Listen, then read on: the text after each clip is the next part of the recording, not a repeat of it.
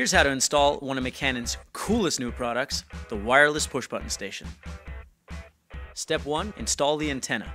Comes free in the box. Step 2, turn the dial to B2. Step 3, remove the cover. Step 4, insert the batteries. And step 5, close the cover. Step 6, press and hold the learn button for 3 seconds until the red light turns solid.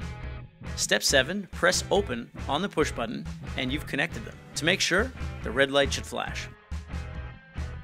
Step 8, test the buttons, close, stop. 2 out of 3, good enough for me. Wasn't that easy? Thanks for watching.